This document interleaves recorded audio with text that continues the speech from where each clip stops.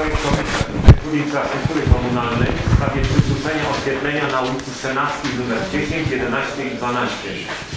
Preambułę ja sobie pozwolę pominąć. Paragraf pierwszy. Wnosi się do Zarządu Infrastruktury Komunalnej Transportu o przywrócenie oświetlenia na ulicy Senackiej nr 10, 11 i 12. W paragrafie drugim uzasadnienie stanowi integralną część uchwały. W paragrafie trzecim uchwała wchodzi w życie z dniem podjęcia.